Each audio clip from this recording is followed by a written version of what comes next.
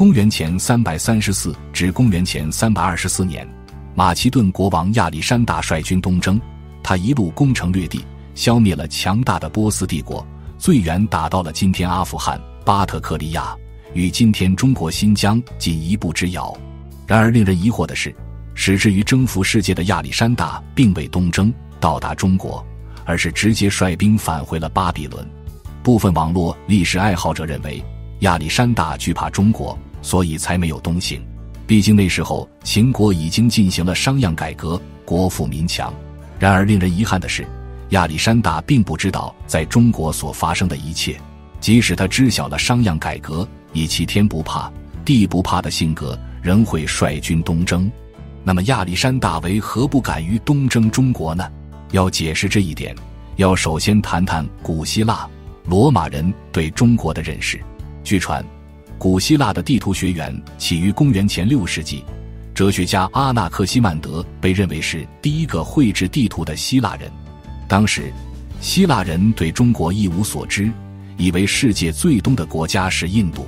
公元前五世纪，中国的丝绸已经远销至雅典城邦，然而自诩博学的希腊人仍不知中国在何处。直到亚历山大东征后，也就是公元前两世纪中期。生活在中亚和西亚的希腊人才获知，在印度东部还有一个国家。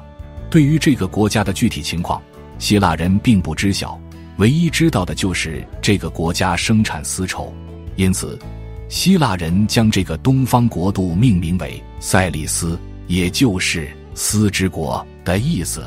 到了罗马时期，许多罗马学者都曾提到塞里斯，在赫拉斯、维吉尔。奥维德等人的诗歌中都曾提到塞里斯，然而他们对于塞里斯的认知却让人啼笑皆非。例如，赫拉斯曾认为塞里斯人生活于印度的某个地方，气候炎热，盛产一种长着绒毛的树，而丝绸就是由这些绒毛织成的。在古罗马博物学家普林尼（公元二十三年至七十九年）眼里，塞里斯人个头高大，人均两米，红发蓝眼，声音粗哑刺耳。可以活到一百四十岁，同时，塞里斯人天生热爱和平，不喜攻战，做买卖极为公道。很显然，无论是古希腊人还是古罗马人，对于中国的认识都是极为错误的，而这种错误还反映在他们绘制的地图上。克罗迪斯·托勒密，著名地理学家，生于公元九十年，死于公元一百四十八年，是一个出生于埃及亚历山大的希腊人。此人自幼博学，集古希腊地理学之大成，曾撰写《地理学》一书。而在这本书中，托勒密绘制了人类史第一幅世界地图。以当时的水准来看，这幅地图已经具有现代地图的雏形。地图上，大陆由欧洲、亚洲和利比亚、非洲组成，世界海洋只看到西方。地图上区分了两大内海。地中海、印度洋，然而从印度往东看，原本属于中国的位置却是一片空白。当时中国还处于汉朝时期，而罗马人对汉朝可谓是一无所知。由于不受世人重视，托勒密的地理学逐渐失传。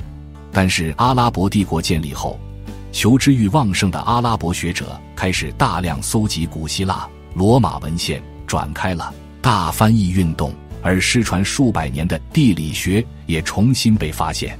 最近在叙利亚曾发现了十二世纪的地理学阿拉伯抄本，在抄本上完整重现了托勒密的世界地图，而我们现代人也终于可以借此一睹真容。很显然，从古希腊到古罗马，欧洲人对中国的具体情况都是一无所知的。公元两世纪的托勒密不知道中国的存在。生活于五百多年前的亚历山大就更不知道了。亚历山大曾立志征服已知世界，但中国却是个未知世界。无论从条件还是动机上来看，亚历山大都不可能东征中国。他甚至不知道中国的存在。相比于希腊、罗马人，当时汉朝人对于欧洲的了解却是相当的清楚。在汉朝人口中，罗马被称作为大秦。因为罗马人长大平正，有类中国，而在当时，罗马人确实黑发黑眼，中等身材，和中国人有些类似。此外，《汉书·西域》还描述罗马地方数千里，有四百余城，小国一主者数十，以石为城郭，列置游亭，皆恶细之，有松柏、朱木、百草。齐王无有常人，皆简历贤者。国中灾异及风雨不时，折废而耕立，受放者甘处不愿。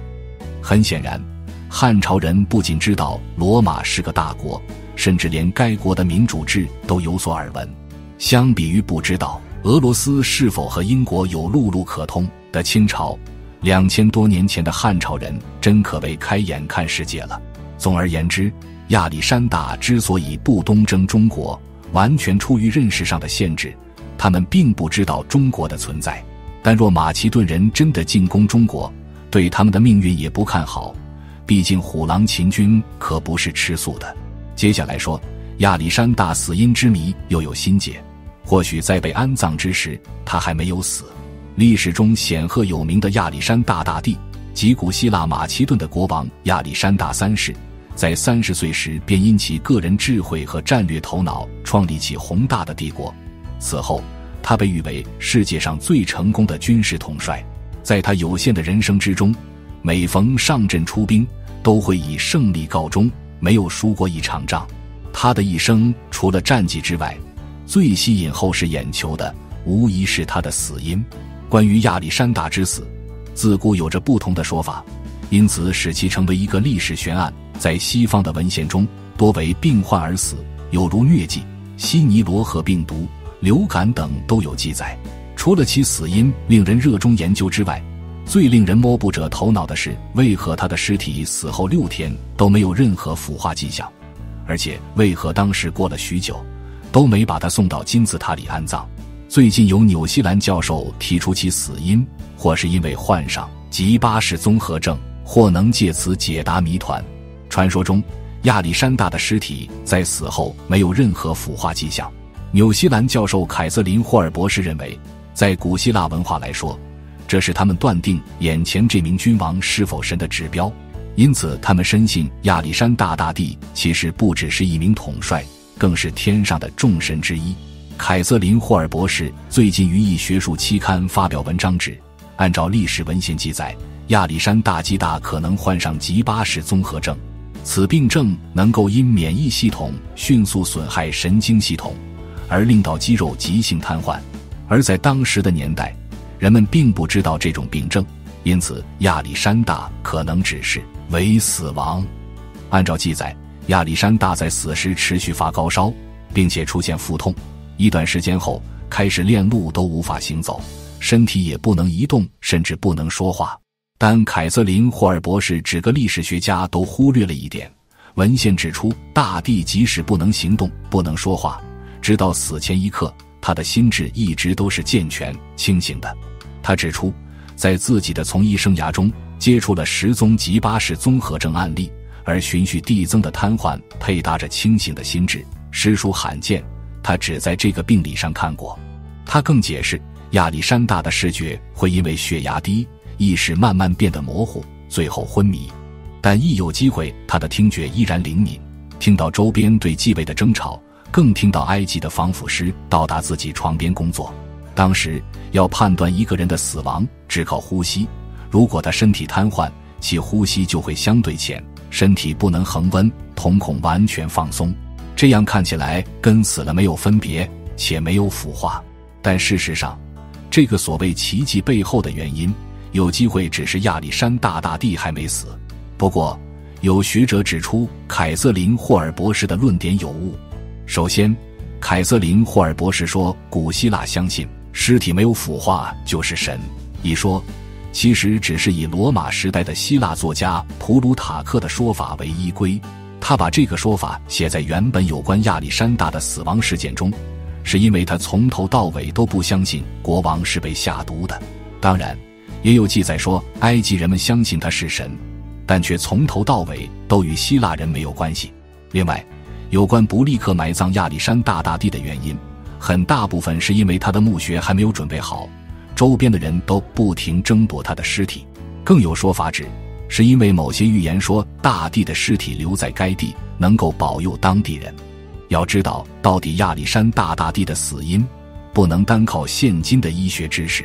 所有有关他死亡的记载，均散布在不同的古文献中，而不论记载篇幅的多寡，每一篇都是我们揭破这个谜团的重要线索。与其用现今医学研究他的死因，倒不如我们换个角度研究当时的人为何会认为他已经死去。好了，以上是本期的内容。如果您喜欢我们的节目，欢迎订阅、点赞、转发，感谢大家的支持。